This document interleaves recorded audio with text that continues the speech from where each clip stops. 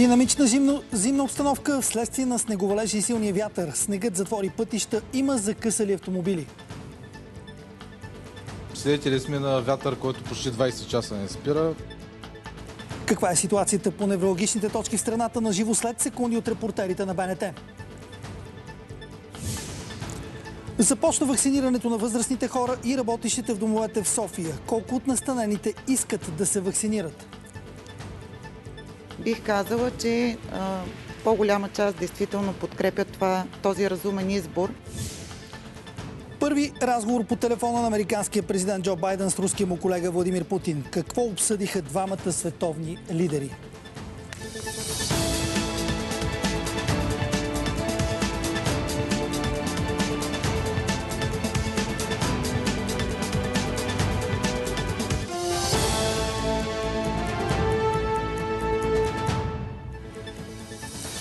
Ден, това са обедните новини по света и у нас. Осложнена остава обстановката в страната след падналия сняг и силния вятър. За днес в сила с жълт и оранжев код за 16 области на България. На живо ще включим нашите репортери за обстановката в северо България, Софийска област, както и на проходите Шипка и Република. Първо към Варна, където обстановката е тежка. В региона има непроходими пътища и закъсали автомобили. 13 села в областта осъмнаха без ток, а причината са скъсани електропроводи от мокрия сняг. В 9 от тях електрозахранването вече е възстановено. Подробностите ще разберем сега от Петър Дойкински. Добър ден, осложнена е зимната обстановка в Варненска област, а на места дори е критична. Ситуацията е такава, както можете да видите на кадрите. Пътищата са проходими, но при зимни условия. Затворен за почистване е пътят Ветрино Суворово. Затворен за почистване от снегонавяванията е и пътят край Аксаковска панорама. Има закъсала линейка до село Куманово, като се очаква до час там тя да бъде изтеглена до най-близкото лечебно заведение. Линейката е закъсала, а в нея се намира пациент на хемодиализа. Най-тежка остава ситуацията в община Суворово Борово. Там има вероятност да бъде обявено частично бедствено положение заради честите аварии по електропреносната мрежа. По наша информация до момента има много закъсали автомобили във Варненска област, но пък нямаме информация за бедстващи хора. Има и закъсал междуселищен автобус в района на село Кичево, но там пътниците вече са извозени. В Варна температурата на въздуха е около 0 градуса, но заради силния вятър, който се появи от тази нощ и силните снегонавявания се усеща като минус 5-6 градуса. Движението в града е нормално, пътищата са почистени. Рано тази сутрин имаше много паднали дървета и клони в централната част, като паднали големи дървета имаше на булевард 8 Приморски полк и на булевард Цар Освободител. Паднало дърво имаше и в централната част до спирка Севастопол. Както вече казах, движението е нормално при зимни условия във Варна, но пък автобусите на градския транспорт се движиха с огромно закъснение, което предизвика недоволството на хората. Чуйте! По принцип би трябвало да са на 20 минути. Понякога и по 40 минути съм чакал, така че могат сериозно да кажа, че не са редовни. Дори в нормално време не са редовни? Да, да, да, е нормално време. Ползвате ли автобус? Да. Редовни ли са днес? За, за съжаление не. Защо? Заради студеното ли? Ами защо? Заради, не знам, само заради студеното направих ги на половин час и пак закъсняват.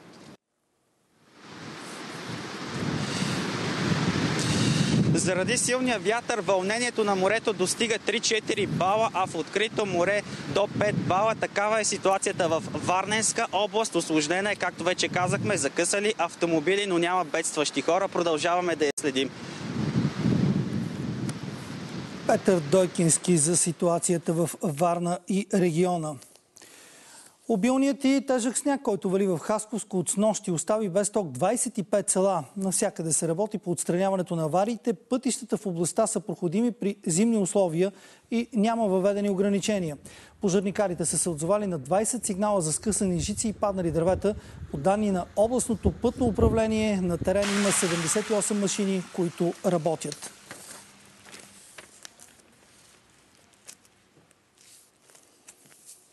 Десетки села от общините Враца, Роман и Оряхово също са без ток заради скъсани електропроводи след падналия тежък сняг. Екипите на ЧЕС работят по отстраняването на авариите заради навявания и бавното снегопочистване. Така беше затворен пътя за тирове между Мездра и Враца. Колони от тежки камиони и леки коли изчакват на място. Заради осложнената зимна обстановка е затворен пътят Крън-Шипка. Там духа силен вятър, има образували се преспи, а видимостта е нулева. Обходният маршрут е през село Дунавци. Още за ситуацията в района ще разберем сега от Десислава Петкова. Здравей!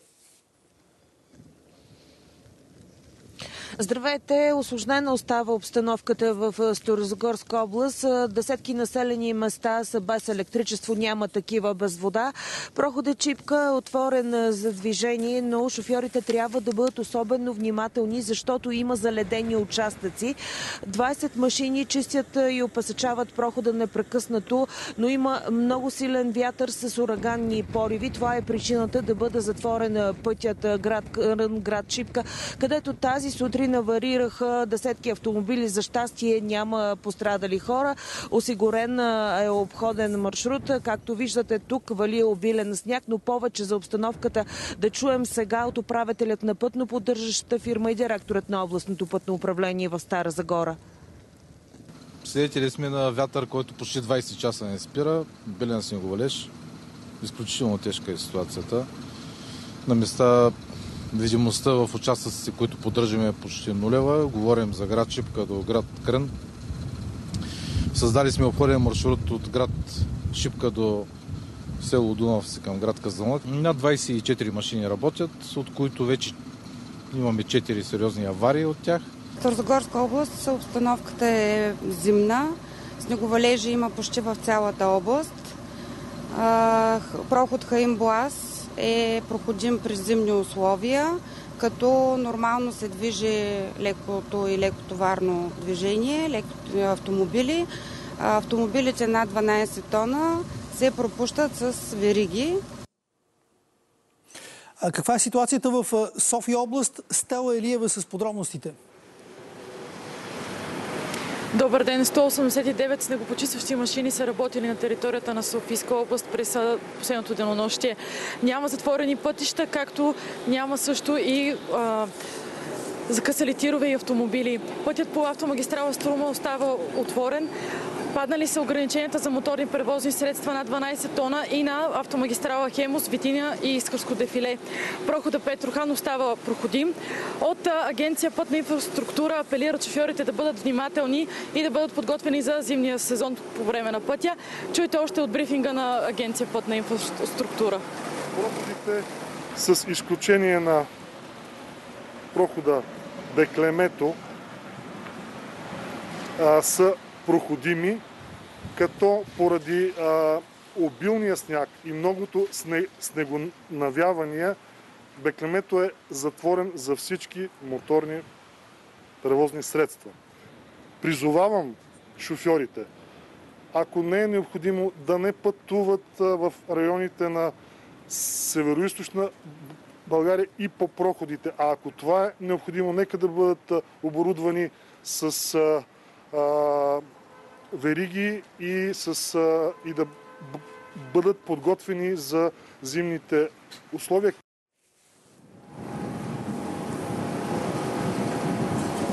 ...125 снегорина са работени на терен на София град.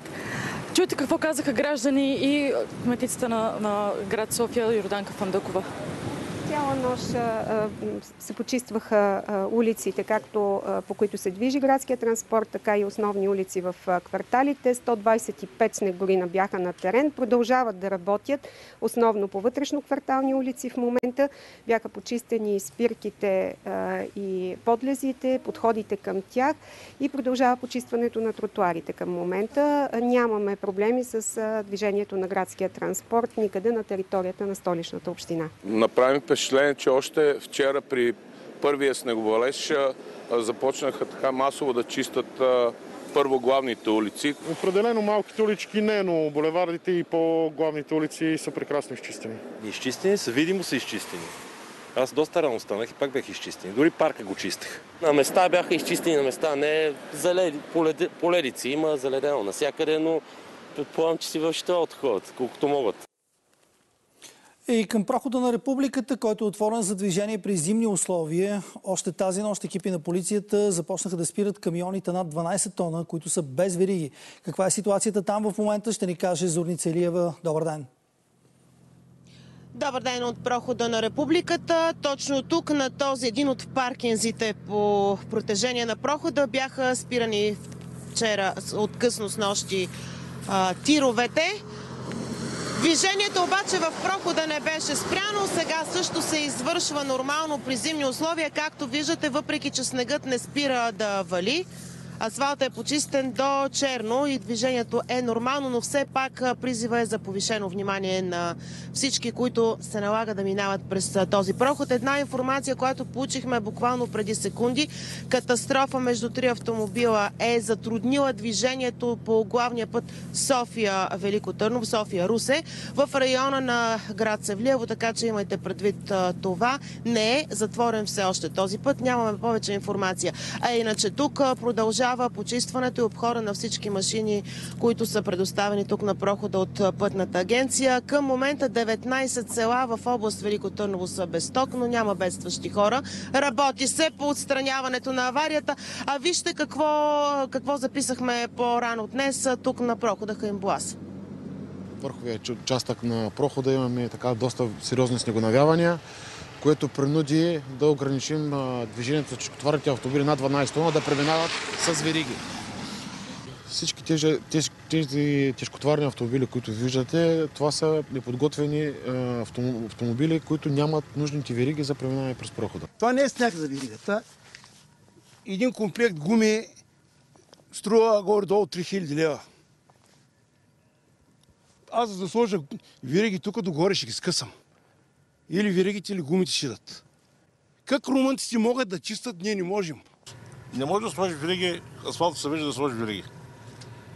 Ние една камара проблеми ще създадем на, на камиона. Затворени за движение за товарни автомобили над 12 тона са още проходите Превала и Рожен, както и пътя Девин-Михалково. Междувременно автобус, пътуващ от Истанбул за Букурещ, катастрофира на пътя Русе-Бяла. Шофьорите и, пътни, шофьорите и пътниците не са пострадали, не се е нало, но се е наложил пожарникарите да щупят задното стъкло, за да ги извадят. И към другото от деня, собствениците и персонал на, персонал на ресторанти протестират в този час пред Министерския съвет с настояване да отворят от 1 февруари. Вчера представители на бранша се договориха с здравния министр Костадин Ангелов ресторантите да започнат работа на 1 март. От протеста с подробностите сега включваме Зоя Велинова. Добър ден! Добър ден! Протестът наистина започна, но все още продължават да идват ресторантьори. Сред основните им искания да бъдат да получат на време помощите и компенсациите, които им бяха обещали заради това, че са затворени. Вчера беше постигната договорка. Министър Костадин Ангелов им обеща това да стане до края на месеца, т.е. до края на тази седмица. Сега виждате актуална картина от протеста. Дошли са ресторантьори от Бургас и от други градове на страната. И още две думи за договорката от вчера нощните заведения да бъдат отворени на 14 май, март, извинете. Попитах ресторантьорите защо след като вчера имаше договорка с здравния министр и той пое ангажименти, днес все пак протестират. Ето какво ми отговориха. Вижте. Помощи така ли, че не съм получил когато е започнала пандемията. Дават се едни празни обещания и всеки път срока се променя след 20 дни, след още 20 дни. Сега чуваме за 1 април, че е удължена пандемията. Та така може да стане и 1 септември. Нямам пари, няма с какво да живея. Те обещаха много неща. Нищо не се случи обаче. Защо да министерствата не затворят примерно за 3 месеца никой да не работи от тях? Да не взимат заплати, да не взимат нищо. Как се чувствате? Не не устройва това, което постоянно обещават. Просто всеки път едно и също, а същи, също време не се случват нещата, които обещават. Сега ресторантьорите се отказват от масово отваряне на ресторантите от 1 февруари, както направиха колегите им от Чехия и Италия. Мотивите са, че ако се стигне при такова отваряне до повишаване на заболеваемостта от COVID, у нас те ще бъдат отговорни, така че за сега няма да има такова масово отваряне. Продължаваме да следим протеста, колеги, към вас. Зоя Велинова от протеста на ресторантьорите. Показателите на България за брой заразени и настанени в интензивни отделения е най-добър. Това обяви премиерата Бойко Борисов на среща с кметове, на които държавата отпусна 5 милиона и 600 хиляди лева за преодоляване на бедствия. Той още веднъж се обърна към ресторантьорския бизнес. Борисов заяви, че не е логично сега всичко да бъде отворено, да се вдигне заболеваемостта и после отново държавата да затвори. Риска е огромен.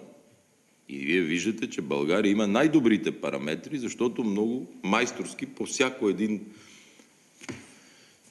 важен за пандемията момент, ние го предотвратявахме така, както в момента с бедствите и аварите. Нашите показатели в момента по брой заразени, починали и съответно в интензивните структури е най-добър. И вместо да му се радваме, сега ще си търсиме начин по който да избухне пак пандемията и да затвориме всичко, както в другите държави. Трябва ли да го направим? Логично ли е? Ето отпускаме, отпускаме, отпускаме, докато параметрите са тези. Ясно го обясних, кой както иска така да го разбере. Разбираме ги и тях, затова и Социалното министерство и економиката толкова мерки за подкрепа. Вчера ги броихме 2 милиарда, плюс пенсионерите 50 лева отиват над 3 милиарда. А в сутрешния блок на БНТ ресорният министр Лачезар Борисов заяви, че на разположение на бизнеса ще бъде разкрит отворен кабинет в Министерството на економиката, чрез който те ще имат ежедневна и постоянна комуникация с администрацията за решаване на техните проблеми интервенцията към бизнеса към момента реално е към милиард и половина и още половин милиард са в ход към бизнеса по договорени процедури. Има минимални забавения, които са от обективна гледна точка, защото администрацията трябва да обработи хиляди заявления, хиляди банкови кодове, айбани. Към момента с всичките мерки сме подпомогнали над 300 хиляди работни места. Представете си за какъв обем става въпрос. Общо фирмите, които са подпомогнати, са може би 40-50 хиляди компании а може би и много повече. Така че това е наистина един огромен обем от работа. Именно заради това аз каня бизнеса да бъдат заедно с нас, да взимаме заедно решенията. Правителството отпусна допълнителни 613 хиляди лева за изграждане на ясли, детски градини и училища. Парите са по 3 годишна програма на образованието на Образователното министерство за 210 милиона лева. Това обясни премиерът Бойко Борисов. Близо 3 милиона лева получи и град Добрич. Високи подпочвени води и участък с плаващи пясъци са причината за повдигането на релсовия път по третата линия на метрото в София. Това обявиха днес от ръководството на столичния метрополитен. Кога ще бъде отстранен проблема и метрото там отново ще тръгне, обаче все още не е ясно. Какво се знае до сега? С подробностите включваме Гергана Гайдарова. Здравейте! И двете причини за повдигане на релсовия път в района на станция Хаджи Димитър са свързани с геоложките проучвания, на базата на които е направен проект за третия лъч на метрото. Според тези проучвания, подводни, подпочвените води, които може да има в района на станция Хаджи Димитър, са до 14 метра. Продлинните дъждове обаче преди малко повече от седмица са повишили водите там до 19 метра, т.е. 5 метра повече. И това е една от причините да се надигне релсовия път според специалистите. Другата причина е, е, че когато по време на тези геоложки проучвания са правени сондажи, за да се провери каква е почвата, те са правени през 50 метра, както по принцип е стандарта, но в участъка има има а, участък с подводни пясъци, а, който не е бил установен при тези проучвания. Какво се извършва обаче в момента в тунела на метрото около станция Хаджи Димитър? Нека да чуем от инженер Стоян Братоев. Вече е демонтиран релсове път, демонтиране траверци, демонтиране, отстранене бетона на релсовия път, но пълнежа бетон в момента в една ивица се отстранява, за да можем да видим, да стигнем до изолацията, да видим как ще направим връзката с старата нова изолация, да възстановим отново дъното, но вече по нов проект. Започна вакцинирането на възрастните хора и работещите в домовете в София.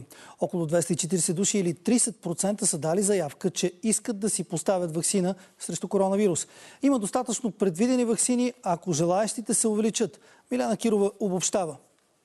Лекар, медицинска сестра и линейка. Това е мобилният екип, който посещава домовете за възрастни. Първа спирка с ваксината с надежда за защита – Дом Надежда. От настанените 69, половината пожелаха да се вакцинират. Оляна е една от тях. Чакала с вълнение. Решението го взех е, сама, защото виждам, чувам, виждам, че е, този вирус наистина не може да си отиде от човечеството, ако не се вземат радикални мерки. Единствено, правилният път за сега, друг начин няма според мен, това е вакцинирането. Преди да вземат решението, възрастните се консултирали с личен лекар и специалистите от дома. Проверява се тяхното здравословно състояние. Бих казала, че по-голяма част действително подкрепят това, този разумен избор. Общо около 30% от домуващите в общинските домове са пожелали. Столичната община се грижи за 8 домове за възрастни хора. Изграждат се списъци и графици, така че всички, които могат да бъдат иммунизирани, които са пожелали, и от частните домове ще бъдат обхванати с иммунизация. От РЗИ са уверили Фандъкова, че от следващата седмица може да започне и вакцинацията на учителите. А данните на един информационен портал показват. През последните 24 часа са вакцинирани 2324 души и общия им брой става 29 122. Втора доза имат 5455 души. 827 са новите случаи на коронавирус у нас за последното денонощие. Положителни са 5% от направените 15 656 теста. В болница се лекуват 2818 пациенти, от които 281 са в интензивни отделения. Като излекувани за денонощието са отчетени 868 души, починали са 36. И към COVID-19 по света изпълнителният директор на Световната здравна организация Тедрос Гебреесус ще говори пред съвета на Европа. Напрежението между Европейския съюз и фармацевтичните фирми нараства заради забавянето на доставките на вакцини. Днес разговорите с компанията AstraZeneca продължават. Още за мерките и иммунизационните планове вижте в следващата минута. От AstraZeneca защитиха стратегията си за доставка на вакцини на фона на растящото напрежение с Брюксел. Според представител на компанията там се работи денонощно, за да се осигури количеството заявен препарат. Истината обаче е, че сме изостанали с поне два месеца. Мнението на фармацевтичния гигант е, че Европейския съюз се закъсня с подписването на договорите и това е сред причините за нарушаването на хода на доставките. Стана известно, че администрацията на Джо Байден планира да закупи допълнително още 200 милиона вакцини, като 100 милиона от тях ще бъдат поръчани на Pfizer, BioNTech и Moderna. В Европа все повече държави налагат ограничения при пътуване и въвеждат по-строги карантинни мерки в опит да ограничат разпространението на вируса. Германия обмисля възможността напълно да забрани полетите до страната. След масово тестване на населението в Словакия, което около 5,5 милиона души, стана ясно, че положителни за коронавирус проби имат около 2% от населението. В Израел и Ливан напрежението ескалира и отново имаше сблъсъци между демонстранти и полиция заради COVID-мерките. Тук съм заедно с хората, гладните и бедни хора, които нямат какво да ядат. Дайте пари на хората, за да си купят нещо за ядене и пиене. По улиците на Нидерландия беше по-спокойно в сравнение с изминалите няколко дни. Кабинетът не се отказа от въвеждането на вечерен час. Междувременно Европейската агенция по лекарствата обяви, че преговаря с 50 компании, които работят по създаването на вакцина срещу COVID-19, в това число и с производителя на руската Спутник В. До дни се очаква агенцията да реши за препарата на AstraZeneca. Американският президент Джо Байден разговаря с руския си колега Владимир Путин по телефона. Удължаване на действието на договора за ядрените оръжия, нов старт с 5 години, ситуацията в Украина, мощната кибератака срещу министерствата и държавните агенции, за която Вашингтон обвинява Москва, случаят на Вални, това са част от темите, по които са разговаряли двамата президенти, съобщи прес-секретарят на Белия дом Джен Псаки. А според Кремъл разговорът е бил делови и откровен. Инициативата за диалога е била от страна на Вашингтон. Това е първият разговор между двамата след стъпването в длъжност на Джо Байден. А какво време ни очаква след обилния снеговалеж и силния вятър? Сега ще разберем от Владимир Ковачев. Владо ще продължи ли да духа така и да вали? Добър ден. В момента се потвърждават очакванията за по-обилни снеговалежи и много силен вятър в източната половина от страната, особено в източна България. А най-дебела е снежната покривка до момента в Разград 26 см. Най-силни са поривите на вятъра в Сливен над 120 км в час, както и на морския бряг до около 90 км в час. Там също натрупа тънка снежна покривка. Снеговалежите в комбинация с много силен вятър продължават. Подробностите след малко в прогнозата за времето. Благодаря ти. Гледайте прогнозата за времето с Владимир Ковачев. Още проверена актуална информация ще намерите в сайта ни banetanews.bg. Приятен следобед!